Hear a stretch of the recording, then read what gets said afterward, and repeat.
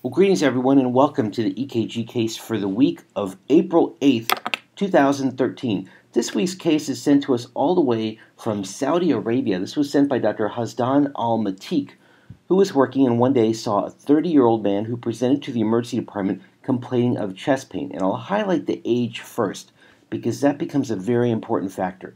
Let's think about this for just a second.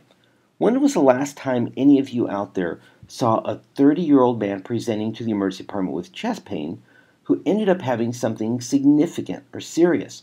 Well, it's not that common, but in emergency medicine, what have we all learned? Every time somebody comes to the emergency department, you need to think about the worst case scenario first and work backwards and try to rule that out based on your history, your physical, and so on. That causes problems sometimes, though, because when we get our consultants involved, they've been taught a different mindset. They think about the most common or the most benign conditions first in many cases. You know, many of you have probably heard the phrase, when you hear hoofbeats, you think of horses, not zebras. You think about the common things. That's oftentimes uh, branded, bantied about by the inpatient folks and recited by the inpatient folks. Well, I like to say that in the emergency department, when you hear hoofbeats, you think of lions and tigers and bears. Oh my. You think about the killer diseases first and work backwards. So, anyway, keep that thought in mind as we progress through this case. So, here's a 30 year old guy coming in, and here's the 12 lead EKG that we obtained on, on this guy. Dr. Almatik looked at this particular case and he was concerned about the inferior leads. There's ST segment elevation in 2 3 AVF, maybe out laterally, maybe not is also concerned a little bit about some ST segment downsloping or depression in AVL, which we've talked about before, can sometimes be, can oftentimes be, an early finding or a reciprocal finding in an acute inferior wall MI. Well, he was concerned, even despite this patient's age, he was concerned about an inferior wall STEMI. He got the consultants involved and they their first thought in a 30 year old guy with chest pain was acute pericarditis. It's not an uncommon thought to think about the benign conditions first. They're thinking about the horses first, not the lions and tigers and bears. Now, once you start thinking of a benign condition, you start looking for, and maybe even looking for or imagining, some findings, some things that support your diagnosis. And that's why it's important to not be biased too early with the diagnosis anyway. So they're thinking pericarditis.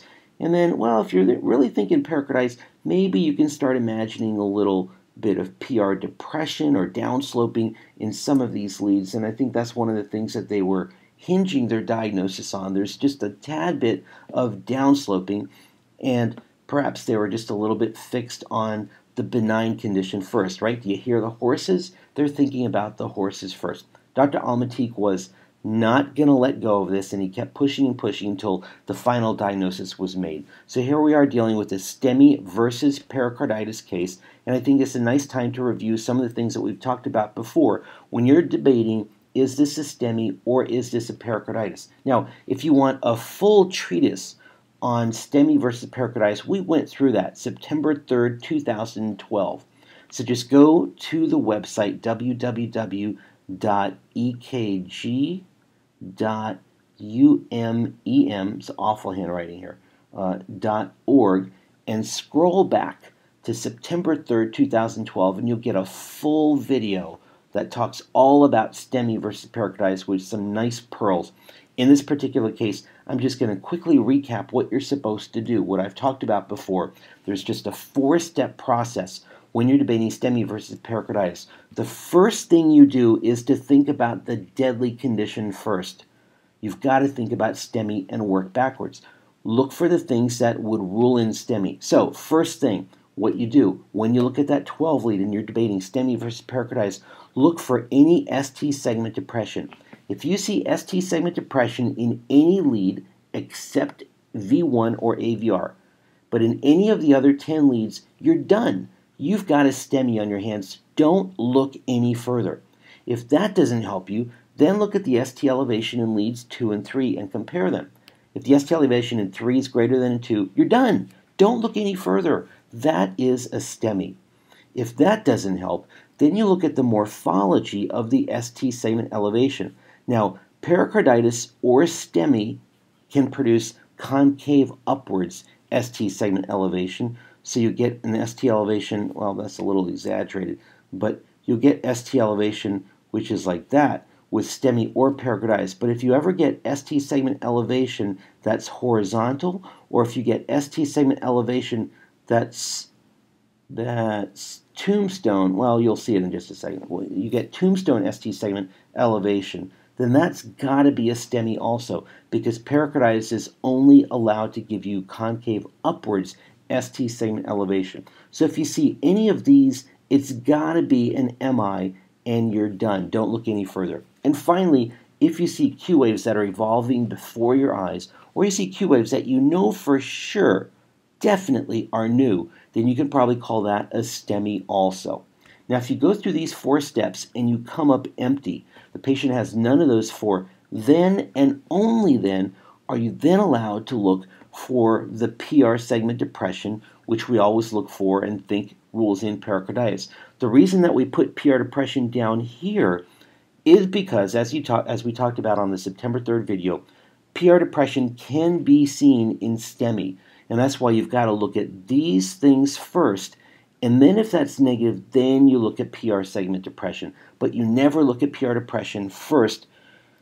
Otherwise, you're going to end up imagining PR depression and calling things pericarditis. So let's go back to the 12 lead EKG and we'll go through that stepwise process. First question Is there any ST segment depression ignoring AVR and V1? Is there any ST segment depression in any of the 12 leads? The answer is yes.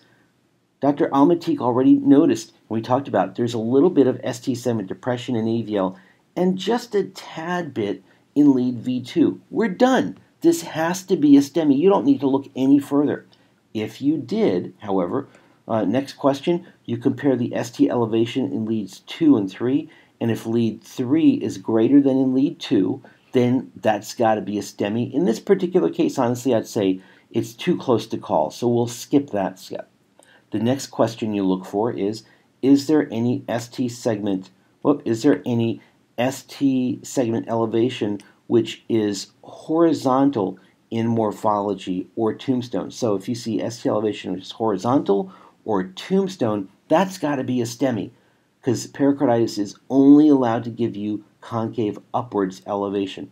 Well, there's no tombstone looking elevation, but there is horizontal ST elevation. You'll notice that the ST segments are very horizontal in morphology. You're done. This has to be a STEMI. This cannot be pericarditis with ST elevation that's horizontal like that.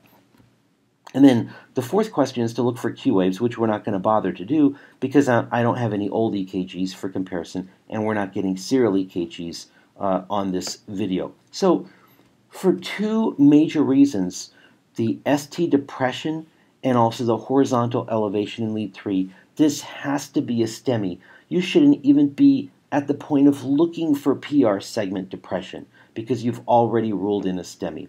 Well, Dr. Almatik pushed and pushed and pushed. They ended up getting in a stat echo, which confirmed the diagnosis of a STEMI. Thrombolytics were administered, and the patient ended up doing okay with only a slight delay in good patient care. But thanks to Dr. Almatik, because if it had been left to the consultants, it could very well have been a much longer delay uh, because, again, remember those people upstairs oftentimes think about the benign conditions first, and that's not what we do in the emergency department. We think about the dangerous conditions first and then work backwards. Now, just for comparison, let me show you a true acute pericarditis. This is real pericarditis, and we'll go through our stepwise approach. Again, first question ignoring leads AVR and ignoring leads V1.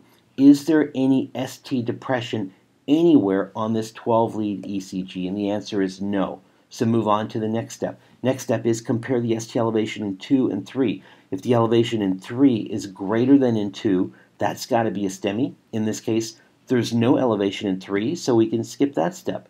Next question Does the patient have any horizontal or tombstone type of elevation in the leads? If it does, then that's got to be a STEMI. And what you'll notice in this particular case is everywhere it's concave upwards, concave upwards.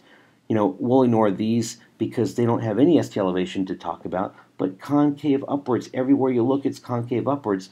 So that does not rule in STEMI. It can be either STEMI or pericarditis. So that step didn't help. And then the fourth step, recall, is when you look for Q waves developing before your eyes. And that's not relevant here because I'm not showing you any serial EKGs.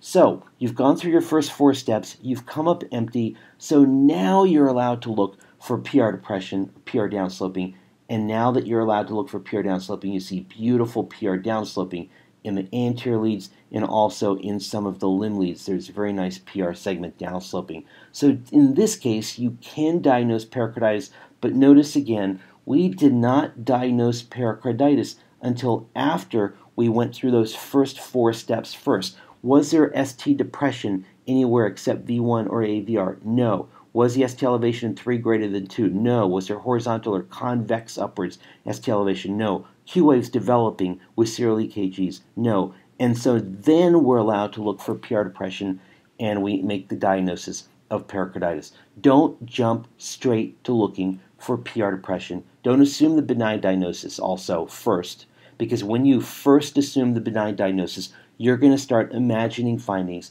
that support your benign diagnosis. You've got to think about the killer first. So that's the take home point. And the last take home point I'll leave you with also is something that we've gone through on multiple cases of the week, and that is this concept that young patients do have acute MIs. There is no lower age limit for diagnosing acute MI. We've talked about 20, 25, now 30 year olds that are having acute MIs. Please don't ever assume that somebody is too young to have an acute MI. Look at the 12 lead EKG, it doesn't lie. My thanks to Dr. Almatique for sending a great case. He saved another life. And why did he do that? He knew EKGs. Please learn and master electrocardiography. If you do that, you are going to save lives. I hope this case was helpful, and I look forward to talking to you all next week. Bye for now.